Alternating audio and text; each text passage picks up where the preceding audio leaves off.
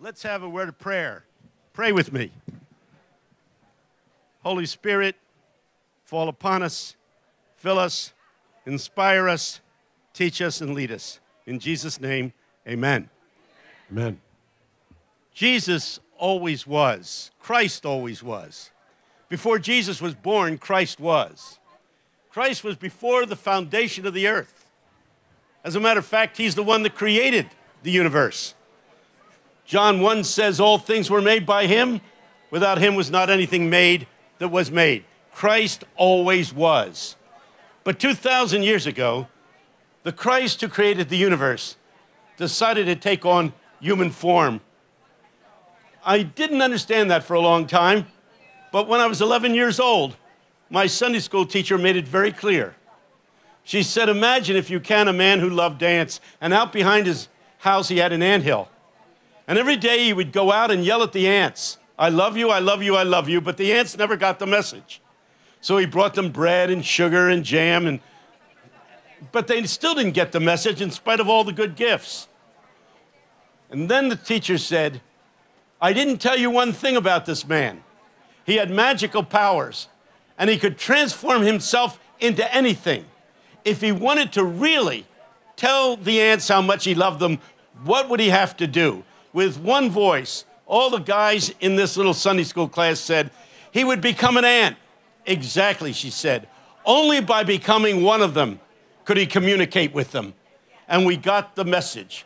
2,000 years ago, the Christ that created the universe became one of us because it was the only way he could communicate his love for us. And he did it in the ultimate way. Greater love hath no man than this, that a man lay down his life for those that he loves. And Christ did that. He laid down his life. He ascended into heaven, but before he left, he told his disciples, I'm coming back, and I will be in you. People, there's a big difference between Christ being with us and Christ being in us. And I want to ask a very simple question. Not do you believe that Christ is with you? I want to know whether you believe that Christ is in you. Have you invited Christ to become a living presence within you and transform you uh, from within. Christ had a body 2,000 years ago. They called him Jesus. He has a body today. It's called the church. Christ wants to be in each one of you. He wants to be in each one of you just like he was in Jesus of Nazareth 2,000 years ago. You say, wait a minute. There's a big difference between Christ being in Jesus and Christ being in me or any of us, you're not saying it's the same thing. I'm saying what it says in the eighth chapter of Romans. It says this, and the same Spirit that was in Christ Jesus shall be in your mortal bodies. It couldn't be any clearer than that. It's the same Christ that was in Jesus that wants to be in you and wants to be in me. And the question today, as we talk about all these great issues, is Christ in us? Or are we just doing it out of, out of emotion? Are we just doing it out of, out of obligation? Or is Christ within us motivating us, empowering us, directing us to do the things that we are supposed to be doing? If Christ is in you, you'll do what Jesus would do. You know, we, we started this movement. We started this movement called Red Letter Christians. And the point of the movement was that we need for Christians, we need for Christians to be empowered by the living Christ. They, I mean, Reverend Barber talking about the Spirit falling upon us and being in us and working through us, and this is crucial to the whole ball game. But if Christ is in you, in your everyday life, you'll do what Jesus would do if Jesus was in your place. I, uh, I remember when I got drafted into the Army. That was a long time ago. Uh, it was during the Korean War. That's how old I am. I'm really old. you know you're old when your wife says, let's go upstairs and have sex, and you say, I can't do both. You know, you know you're old. So, uh, uh, you know, it was a long time ago that I got drafted, and I went down to the draft offices, and they didn't want me. They interviewed me, and the lieutenant that was interviewing me uh, said, What's your problem? I said, I just read this book by Charles Sheldon entitled In His Steps. And what he did was he called us, each one of us, to do what Jesus would do in Jesus if Jesus was in our place. You can make me into a soldier, but I don't know that I could run a bayonet into somebody and cut out his guts. I don't think that's what Jesus would do. He said, You're making it sound very ugly. I said, It is ugly. He said, What if you were in an airplane and we're about to drop a bomb? Could you do that? I said, My hand's on the lever, I'm about to drop the bomb, and I asked a very simple question Jesus, if you were in my place, would you drop this bomb? The lieutenant yelled at me and said, That's the dumbest thing I ever heard. Everybody knows that Jesus would never drop a bomb. That's an important statement. That's an important statement. Would Jesus drop a bomb? What would Jesus say about warfare? If we take the Sermon on the Mount seriously, we would end up loving our enemies. Shane Claiborne often says when Jesus said, Love your enemies, he probably meant we shouldn't kill them. That seems to be an obvious statement. But Americans don't look at it that way. They think they can be imitators of Jesus and not do what Jesus would do if Jesus was in their place. I remember when I was in high school, I was in homeroom 48, which is where all the jocks were assigned. I was on the basketball team, so they put me in homeroom 48. I loved being in homeroom 48 because everybody at West Philadelphia High School knew who was in homeroom 48. I'd come to school, I'd walk down the hall. The girls would line the walls and sing how great thou art. and, and I loved it. I walked into my homeroom and, and there they were, all the jocks, the football team, the basketball team, and then there were four guys. I don't know whether they should have been there. They were the members of the chess team. Nothing wrong with being chess players. They're great people, but the truth is that these four guys were kind of strange.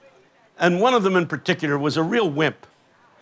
And I asked myself a very simple question Jesus, if you were in my place, who would you befriend? Would you go to the back of the room and sit, sit with the super jocks?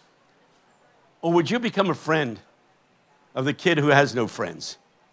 It didn't take me a moment to know the answer to that one. So I went over and sat down next to this wimp. It turned out to be the smartest move I ever made. The kid was brilliant in algebra. He carried me my whole senior year. I don't know what would have happened had I not linked up with this kid. And more important, when I got to know him, he was the most interesting, humorous person I had known in the whole high school. He was a sharp, witty, wonderful. Isn't it amazing the way we let societal stereotypes determine who our friends are? Do we allow society to determine who we choose to be friends with? I was friends with this guy because I knew that that's what Jesus would do. Now, I wish this story had a wonderful ending like a Southern Baptist preacher would give to it. You know, and because I love that wimp, because I cared for that wimp, because I reached out to that wimp, today, that wimp is Barack Obama. this kid stayed a wimp, but he's the most glorious, wonderful wimp you could ever meet. He walks the walk. To be a Christian is to allow Christ to be in you and motivate you to do what Jesus would do if Jesus was in your place. It makes you into a radical person. During World War II, not a single Bulgarian Jew ever died in a concentration camp. That's amazing. Bulgaria was a Nazi nation. Hitler didn't have to send his army in to conquer Bulgaria. It was allied with Hitler from the very beginning of the war. And yet, in spite of that, not a single Bulgarian Jew ever died in a concentration camp. Most of that is due to what one man did Metropolitan Kirill. He's a name that's gotten lost in history, and it shouldn't have been because he's one of those guys that did what Jesus would do. When they rounded up the Jews in Sofia, and put them in a barbed wire enclosure down at the train station, waiting for the train to drive up and, and take them. uh, to who knows where, like Auschwitz. They were there. It was a rainy, misty night. Out of the fog came Metropolitan Kirill, the leader of the Bulgarian church. He stood six foot four to start with. But in addition to six foot four, being an Orthodox priest, he wore a mitre on top of his head. That gives them an extra foot. so if you can see this seven foot four figure emerging from the fog, he, he had a huge white beard that hung down to his waist. He strode forward so quickly and his gait was so great that the men who were following him had to run to keep up with him. He came to the entrance of the barbed wire enclosure. They raised the guns. They said, You can't go in there, Father. He pushed the guns aside. He marched in among the Jews, and the Jews gathered around him, waiting to see what the church had to say in their hour of desperation and need. He raised his arms. He quoted one verse of scripture and changed the destiny of a nation. You say, What verse could do that? Here's the verse. He raised his arms and shouted at the top of his lungs to these Jewish people a verse from the book of Ruth. He yelled, Whithersoever thou goest, I will go. Your people will be my people. Your God will be my God. and the Jews cheered. The Jews cheered loudly, and the men who had come and followed him to the barbed wire enclosure, they screamed and yelled cheers as well. The uproar was so great that frightened people came out of their houses, rushed down to the train station, and the crowd grew larger and larger and larger. And, and the SS troopers knew they couldn't get away with it. And so they boarded the train themselves and left, and they never came back again because a man, moved by the Spirit of God, was ready to say, I am willing to stand with the oppressed. If Christ is in you, you will always stand with the oppressed, always stand with those at the margins, always stand with those who are rejected by society. When I come here, I get a breath of fresh air because I see all these uh, signs that indicate that they're gay friendly. I got to tell you, every Christian should be gay friendly. Let's face it. Let's face it. The church has done horrors to these brothers and sisters. I mean, they commit suicide at an incredible rate because they feel the anger of church people. I don't know what else Jesus is about, but he's about this. He's about loving those who society may reject, affirming those who society may put down, loving those who are on the margins. When I was in high school, there, there was this kid named Roger. He was gay, and they made fun of him. Tough inner city school. West Philadelphia High was tough on kids like that, and they made fun of him. They ridiculed him at every turn. On Fridays, when there was phys ed, he was always afraid to go into the showers because he was afraid of what would happen to him from the kids who weren't gay. When he came out, we were always waiting with our wet towels and we would whip them and sting his little naked body. I wasn't there the day they dragged little Roger into the shower, shoved him into the corner.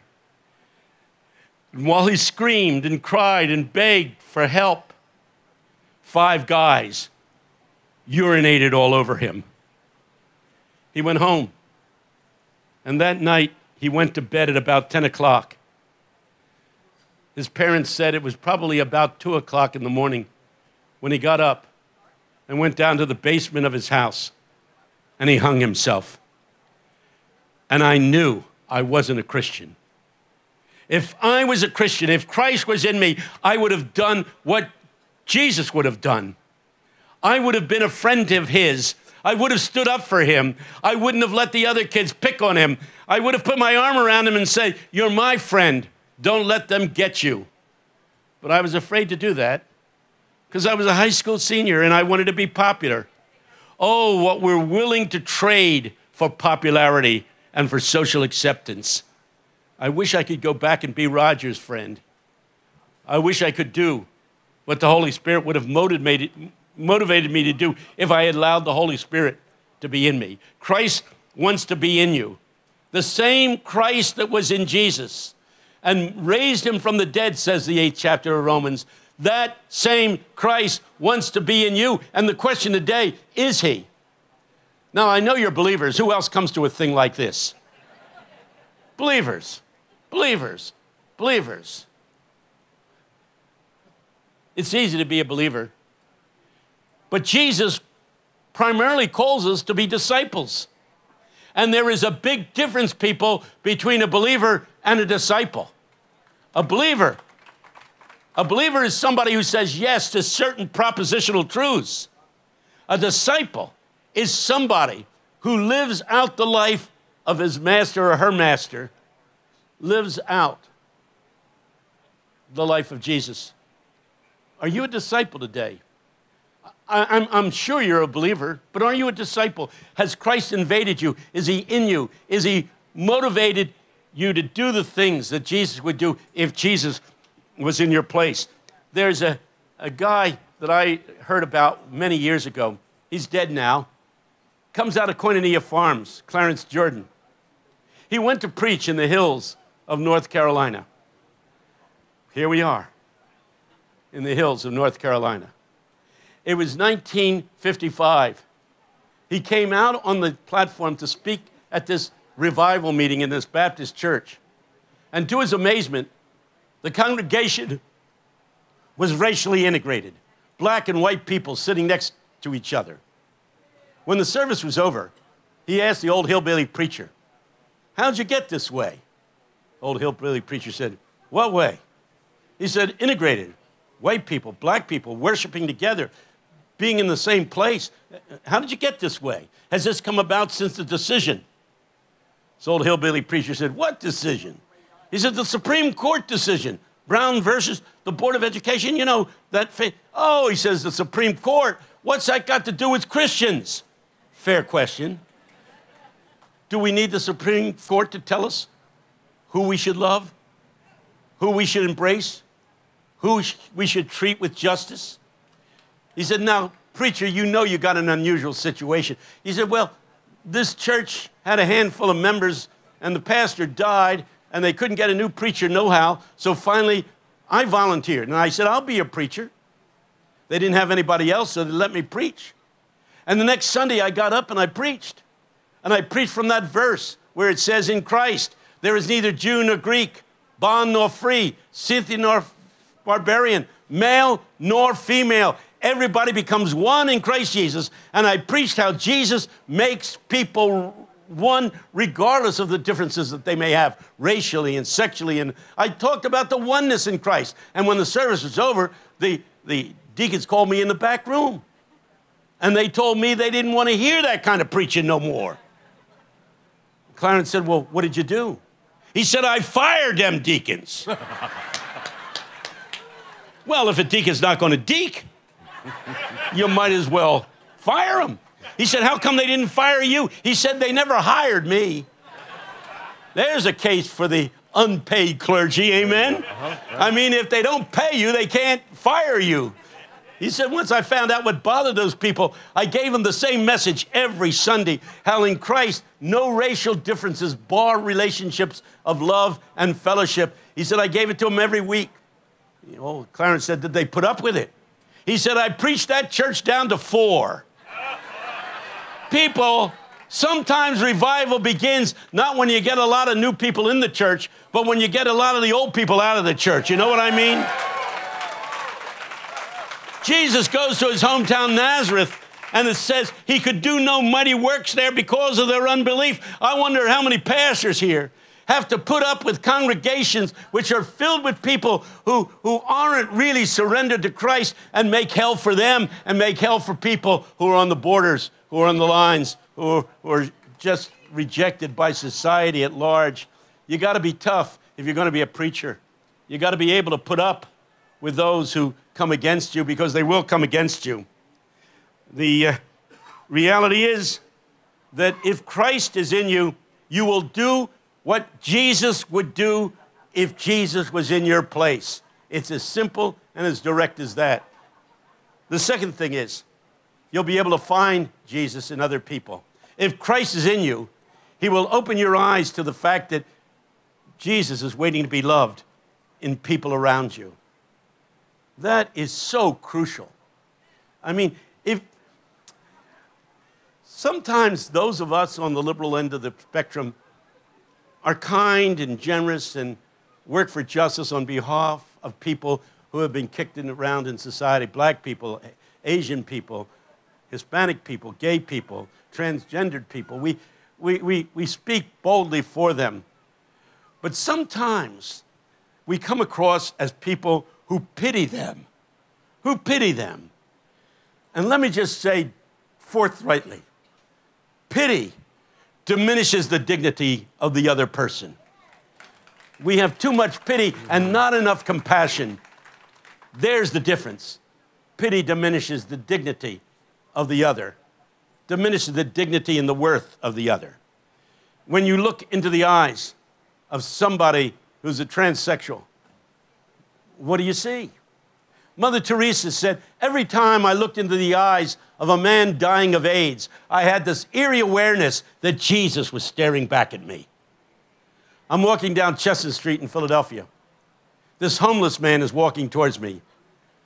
The kind of man that you'll find on almost any street in every city, yelling and screaming at somebody who wasn't even there. You know what I'm talking about. Yelling and screaming, and nobody's there. He's yelling and screaming, and He's holding in his hand a cup of McDonald's coffee. He spots me and he says, Hey, mister, you want some of my coffee? This filthy, dirty street man, greasy beard, had a cup of McDonald's. The styrofoam cup was smudged from the filth off of his beard. You want some of my coffee? To tell the truth, I didn't want any of his coffee. But I knew the right thing to do was to affirm his generosity. So I took the cup and I took a sip and I gave it back to him and I said, You're getting generous, aren't you? Giving away your coffee to people you don't even know? What's gotten into you today, fella? You don't know me? Come on. Why are you giving away your coffee so easily? And he said, Well, the coffee today was especially delicious. And I figure if God gives you something good, you should share it with people. I thought, oh, thought, oh no, this sucker has set me up. It's going to cost me $10. I know it. I said, You want something from me, don't you? He said, Yeah. I want a hug. I was hoping for the $10.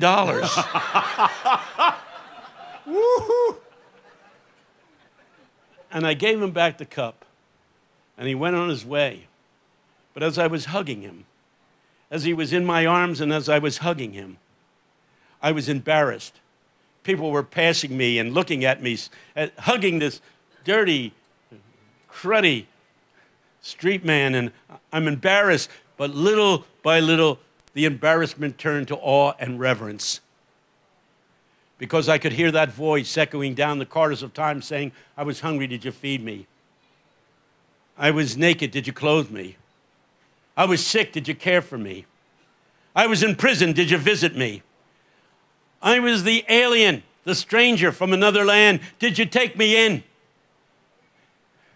And I knew that I had been holding Jesus in my arms. Jesus in my arms. It changes everything. When you recognize the other person as Jesus, if Christ within you opens your eyes to the sacredness of the other, you will not be asking, Am I noble enough to serve? You will be asking this question Am I worthy? Am I worthy? The minute you begin to sense Jesus in the other person, it changes the way in which you relate to that person. To relate to those who suffer as though each was Jesus that's what happens when Christ is in you. He opens your eyes to see people in a totally new way. We see no one, says the scripture, after the flesh. We see everyone in the spirit. That's what the Bible says. It's a new way of looking at people. To relate to people who are in need. That's what the church was called to do. 2,000 years ago, Jesus was the physical body of Jesus. Today, the church is supposed to be the body of Jesus. In the 12th chapter of Corinthians, 1 Corinthians, the 27th verse, It says this Ye are the body of Christ. You are the body of Christ. Jesus was the body of Christ 2,000 years ago. We are the body of Christ here and now. And I know what you're going to say. Well, you don't live like Jesus, and I don't live like Jesus. No, and it's about time we make a commitment to try. Amen? I mean, let's be honest. We don't live like Jesus. Whenever I sign a book, I always sign it Philippians 3 13 and 14. Not as though I have already arrived, no, not as though I have already achieved, but forgetting those things which are behind, I'm pressing towards the mark of the high calling of God in Christ Jesus our Lord. I'm on my way, people. I'm not there. People ask me, Are you a Christian? I say, I'm on my way to becoming a Christian. Soren Kierkegaard said, If you mean by Christian somebody who lives like Jesus, who then is Christian? In any generation, there might be four or five. I'm not there yet. I'm saved because salvation is what Jesus Christ did for me on Calvary's cross. I'm saved. But there's a difference between being saved and being filled with the Spirit of Christ. There's a difference between having eternal blessings in heaven and being alive because Christ is in you here and now. There's not much aliveness in this world. You'll admit that, won't you? People are dead. Man, they're dead. I was on an elevator in Chicago. We came down to the ground floor. There's a kid next to me. He's got his baseball hat on sideways. His pants are hanging low. You've seen this, haven't you? Really low. In this case, you could not only see his underwear, you could see the crack. I had a strong temptation to take out my pencil. I said, "How you doing?" He said, "Okay." I said, "Having a good day?" "Yeah." "How's life going for you these days?" "All right." Deader, deader you cannot imagine. We got down to the ground floor, the elevator did not open. I started banging on the door. I'm yelling, Open this door! Somebody out there, get this door open! All of a sudden, I heard a voice behind me say, Sir, the door is open. I turned, it was one of those elevators that had doors on both sides, and I'm banging on the wrong door. And this kid did not laugh. He started off the elevator. I grabbed him and pulled him back. I said, Kid, laugh. This is funny. You say, What's this got to do with having Christ in you? When Christ is in you, the fruits of the Spirit are obvious, and number one is love, number two is joy. There is a joy and an exuberance and aliveness about. I remember the first time I met somebody who was into the Pentecostal movement. Man, it was a young woman in my high school named Dorothy. Overnight, she seemed to come alive, vibrantly alive. Whoa. I wanted what she had. So I went to the Pentecostal church where she attended one Sunday night, and they called people forward and they lined us up, and the guy went down and pounded people on the head. You've seen this on television, have you? Everybody he hit fell over, except me. He hit me on the head and nothing happened. He moved on and knocked over some other people. Then he came back and he hit me again. Nothing. I went home and I was despondent. I was really sad because I wanted that experience. Listen, I not only wanted to believe in Jesus, I wanted to feel the living Christ within me. I wanted to feel his presence. I wanted what John Wesley experienced when at Aldersgate he, he felt the Spirit of God strangely warm his heart and come alive with the assurance of his salvation. I wanted what Blaise Pascal experienced as he sat alone in a dark room and 10:30 at night as he writes in his diary, I felt the spirit fire, fire, fire, not the God of the philosophers, not the God of the theologians, not the God of the ethicists, not the God of the astronomers and the mathematicians and the scientists, but the God that was alive in Abraham, Moses and Jacob. Fire, fire, fire, joy, joy, joy, fire, joy, fire, joy, unspeakable joy. Isn't that what I want? That's what you want? Don't you want more than just a theology? Don't you want something more than just a set of theological propositions that you can affirm? Don't you want to be surrendered so that the Christ can invade you, be in you, and move through you to be an instrument of change in the world? If this conference is about anything, it's about changing the world. when I listen to Reverend Barber, I always kind of shake a little bit because he calls us to action. He calls us to do something. But this is what the Bible says. This is what Jesus says. Without me, you can do nothing. A few years ago, a group of us gathered in Washington, D.C. with Jim Wallis. He's usually a speaker here. I think I'm kind of replacing him this year, which is a sad thing. But uh, I, I, was with uh, Jim Wallis down, down in Washington, and, and we were talking about Christ being in us and Christ being with us and working through us, and that without Him, we can do nothing. You know, I'm an old guy. I'm really old. I'm pushing 85, so you can see that that's old. Having said that, I remember the 50s and the 60s, and there were all of these wonderful people calling for an end of World War against Vietnam, calling an end to racism, sexism, militarism, homophobia. They had all the right issues. And we marched, and we were growing in number. And then it all died out. It all died out. Jerry Rubin ended up selling stocks and bonds on Wall Street. I mean, the leaders of the counterculture movement lost their energy. We all lose our energy. But those, listen to this from the Bible, they who wait upon the Lord shall renew their strength. They shall mount up like eagles and fly. They shall run and not be weary. They shall walk and not faint. Please note the development. First, you end up flying like eagles. You'll come home from this conference and you'll say, I'm flying like an eagle. Within two weeks, you'll still be running with this thing. And then a little later, you'll be walking and you hope you don't faint. You lose it. You lose it. You lose it unless the Holy Spirit invades you and unless the Holy Spirit is renewed within you. I didn't get the Holy Spirit at that Pentecostal meeting, but it was a Roman Catholic friend that introduced me to the writings of St. Ignatius. And I learned new ways of praying.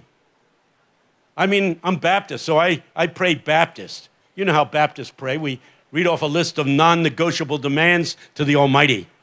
And we tell God a lot of stuff that God already knows. I mean, when you say, Dear Lord, Sister Mary is sick in the hospital, what do you think God's saying? Whoa, I didn't know that. Which hospital? Let me break it to you. God knows what you need before you even ask. I still make my prayers known to God, my requests known to God, but it's not to inform God, it's in order to establish dependency upon God for every good and perfect gift. I lean on the Lord. I lean on the Lord in my prayers. But too often, our prayers are nothing but a list of requests Often we're simply sophisticated forms of my son at the age of, at the age of eight years old coming into the living room and saying, I'm going to bed. I'm going to be praying. Anybody want anything?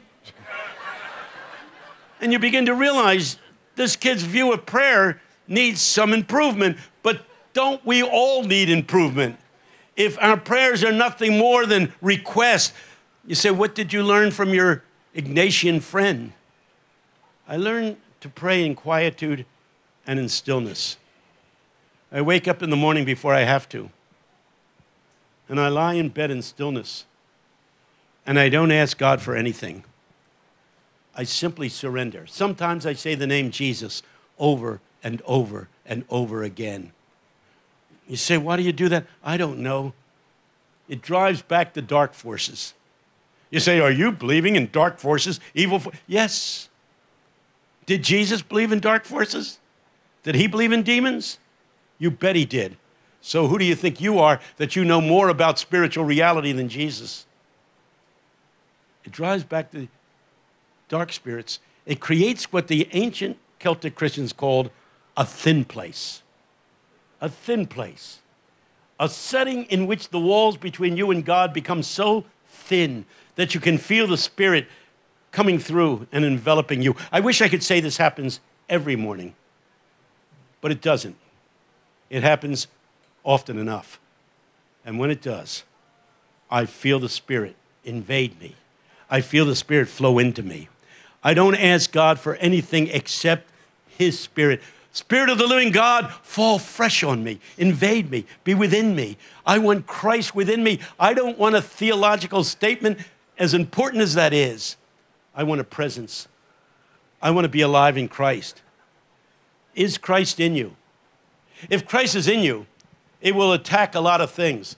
You will attack a lot of things. One of the things that has to be attacked right now is what we call ethno nationalism. This idea that God is an American. I, I, heard John Howard Yoder one time in a debate with another minister, and finally, uh, the guy said to John Howard Yoder, The important thing is that we both worship the same God. He said, I don't think we do. Are we worshiping the same God? If you have a God that is racist, homophobic, if you have a God that declares war on people, that doesn't oppose capital punishment, then you and I don't have the same God. When Jesus said, Blessed are the merciful, for they shall obtain mercy, that's what it's all about. One of my former students, Bryan Stevenson, has become world famous overnight because of his opposition to the death penalty. And I asked Bryan, Are you opposed to the death penalty? I suppose you are. He said, How can you believe in the death penalty? when Jesus said, Blessed are the merciful, for they shall obtain mercy. He did say that, you know. Red letter Christians are people who say, We're going to do what Jesus would do. If he shows mercy, we will show mercy. He said, and even if you did believe in capital punishment, you wouldn't believe in capital punishment here in the United States, where there are two kinds of justice one kind of justice for rich people and another kind of justice for poor people. And if you don't know that, you don't know much about America. The truth is, the people go to the electric chair. Not because they're guilty. Maybe they're guilty, maybe they're not. They go to the electric chair for one reason. When they have their day in court, they don't have anybody really good to speak for them, to defend them. And then he smiled at me and he said, Except in Montgomery, Alabama. Because in Montgomery, Alabama, Doc, I speak for the poor. I defend the poor. I'm the voice of the poor. And Doc, he said, I'm good. I'm really good. You bet he's good. To date, he's gotten 183 people off of death row by proving they were innocent because they didn't have a good day in court. That's doing what Jesus would do. It's being a voice for those who have no voice. It's speaking for those who cannot speak for themselves. This is part of what it means to have Christ in you. Having Christ in, in you is not simply getting a ticket to get into heaven when you die. Man, I remember when I was a kid, that's all I ever heard. The preacher looking down at me, I'm 12 years old, he's yelling, Are you ready to die? I'm 12 years old. I'm glad at the age of 85 that there is a heaven and that there is a life with Christ after this life is over. But people, he came not to get you into heaven when you die. That's a secondary thing. His primary thing was to create a people through whom, listen to this, he could create the kingdom of God on earth as it is in heaven. That's why he came.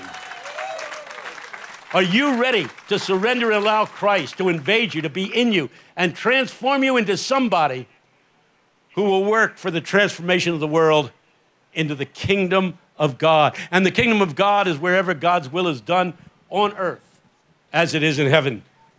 These are the important things that we need to recognize.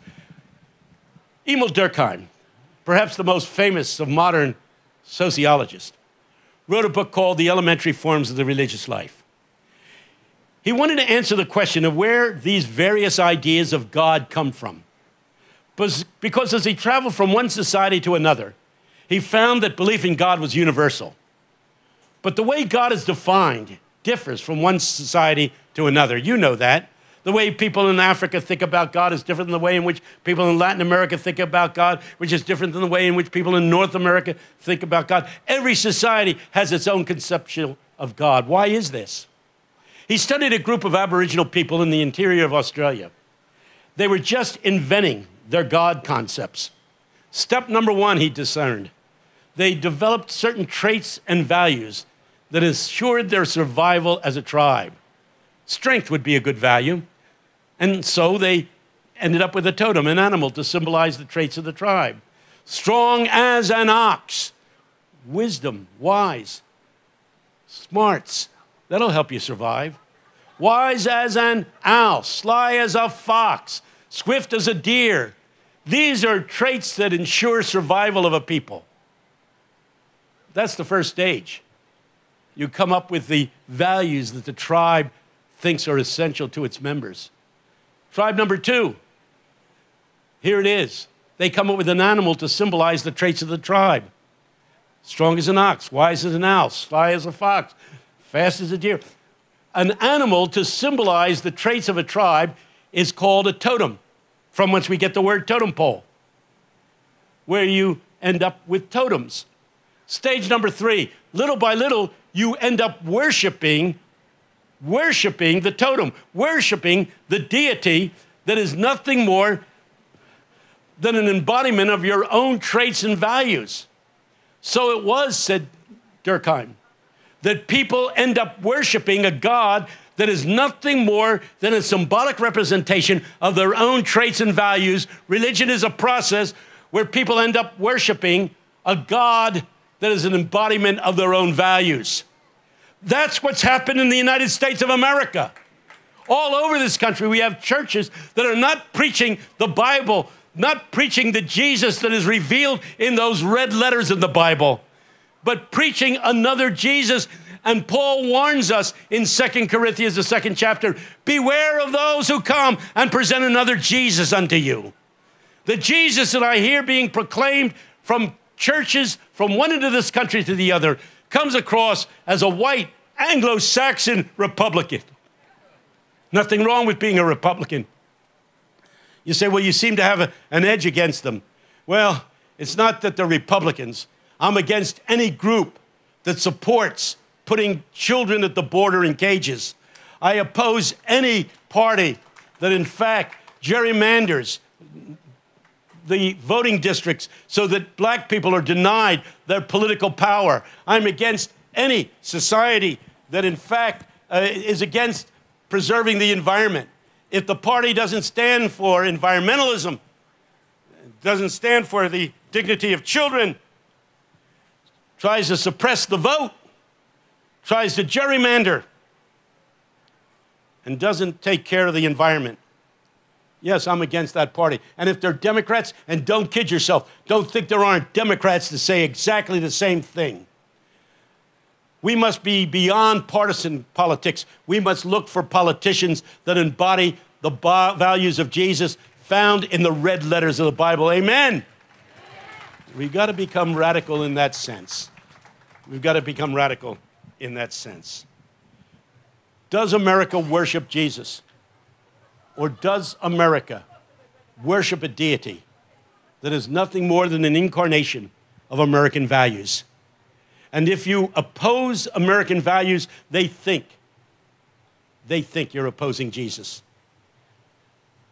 George Bernard Shaw said it this way God created us in his image, and we decided to return the favor. when I was a boy, I was in this African American church, and they had a Sunday school class that I taught, and there's a picture of Jesus. Sallman's Head of Christ, and one Sunday it was gone. And there was another picture of Jesus on the wall, and he was black.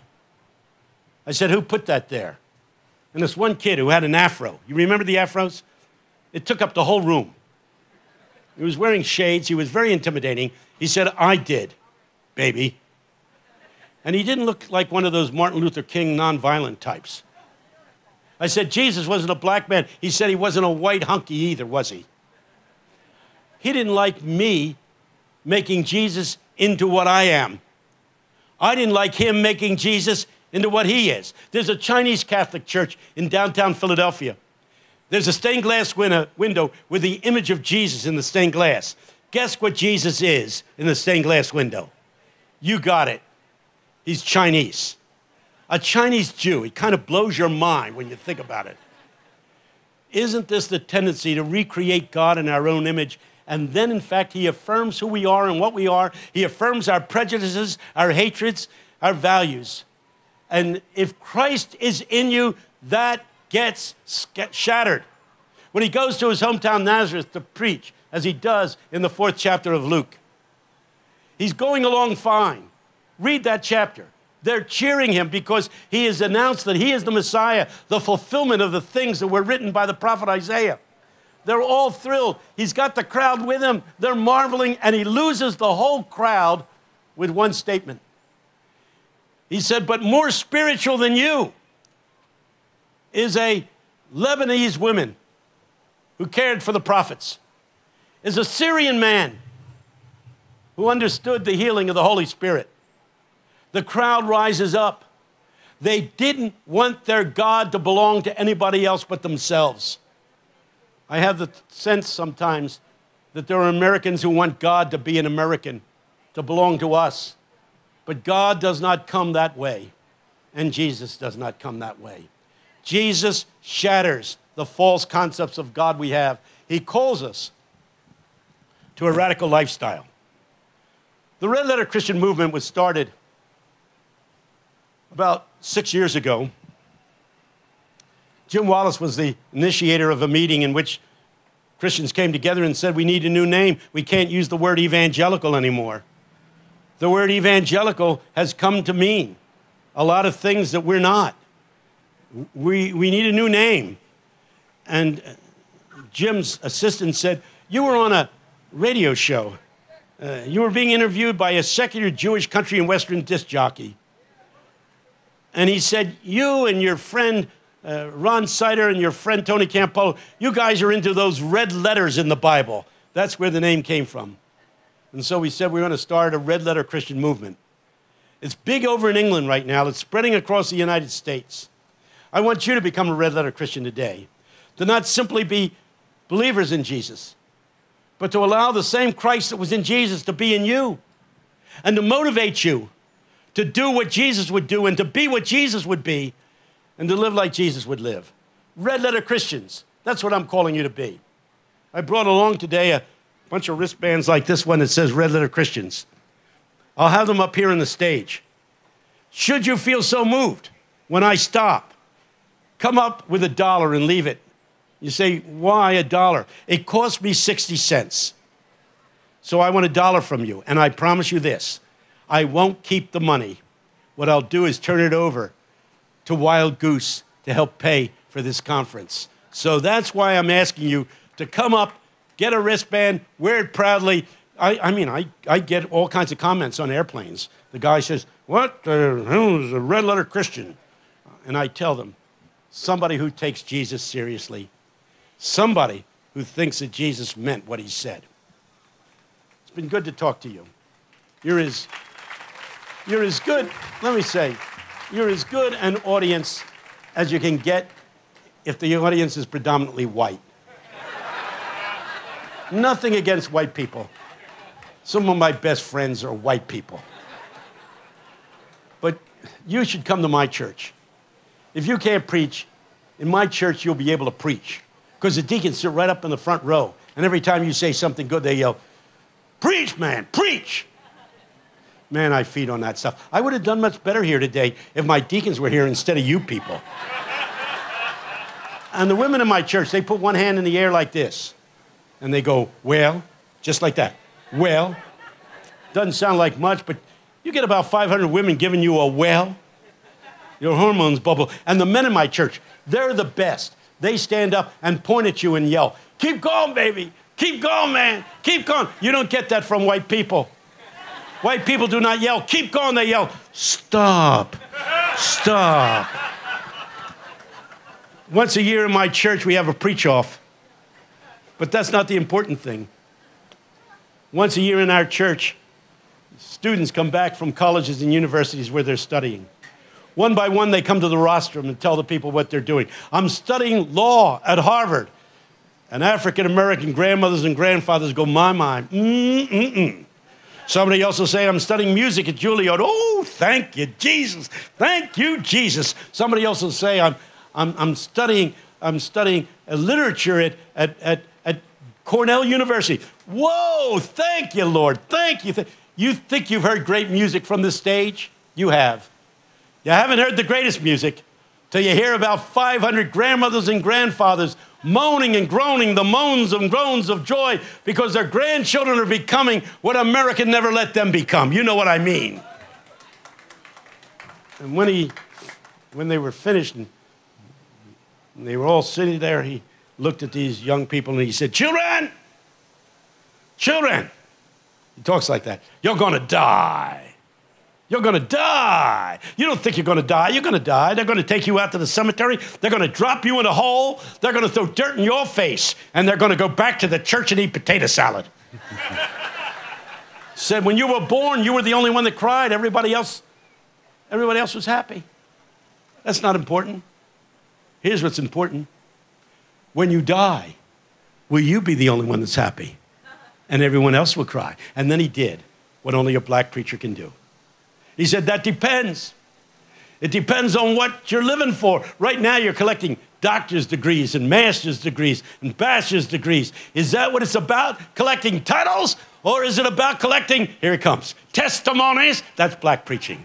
Rhythm, alliteration. Titles or testimonies? And then he did what only a black preacher can do. He stripped through the Bible in five minutes. We white guys can't do that. We get bogged down. You've heard us, haven't you? Today, we're going to exegete the third verse of the second chapter of Philippians. Man, jeez, God. He started in Genesis and went through Revelation. There was Moses and there was Pharaoh. Pharaoh had the title, ruler of Egypt, good title, but when it was over, that's all he had. He had the title, but Moses had testimonies. Oh. He said there's Jezebel, Queen Jezebel, another good title, Queen, Queen Jezebel. But when it was over, all she had was a title, but, but the prophet, the prophet who preached against her, he had testimonies. And then there's, there's King Darius, good title, king. Good title, king. He threw Daniel into the lion's den, but when it was over, all he had was a title. He had the title, but Daniel had the um, testimony. People of God, that's the truth. One of these days, they'll drop you in a hole. They'll throw dirt in your face and they'll go back to the church and eat potato salad. And here's what I want to ask you Will you have so lived out the Spirit of Christ? Will you have become so much the body of Christ in the 21st century that when they drop you in the hole, there'll be people around the grave giving testimonies, testimonies of how you blessed them and how you helped them and how you made Jesus real to them. I wish for you both titles and testimonies, but hear me, people. If you got to make a choice, go for the testimonies. God bless you.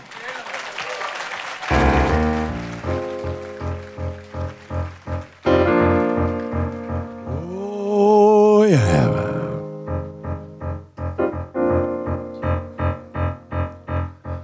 Body snatcher, heart invader soul changer. That's what it's all about.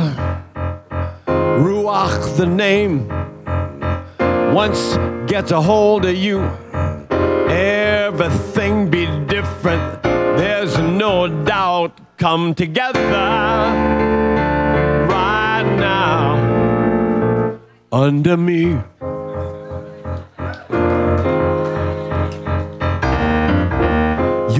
You'll be walking, baby.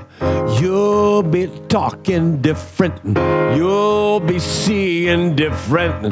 You'll be hearing different. That's the way it's going to be. Be so good looking and you will be free. Come together right now under me.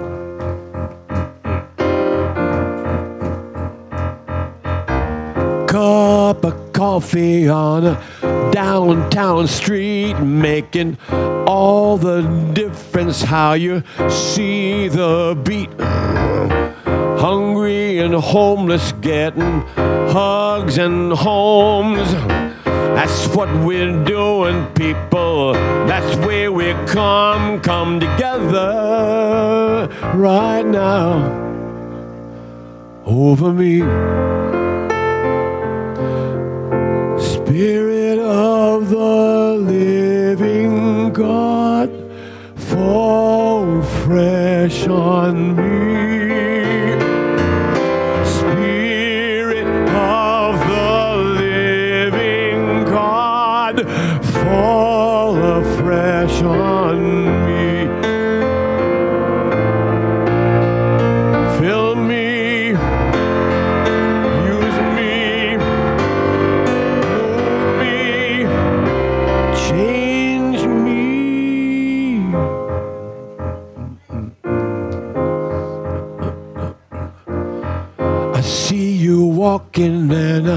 See you talking and you're making, changing and you're rearranging and you're never, never will you be the same cause Ruach has grabbed you. Spirit, her name, she says, come together right now under me.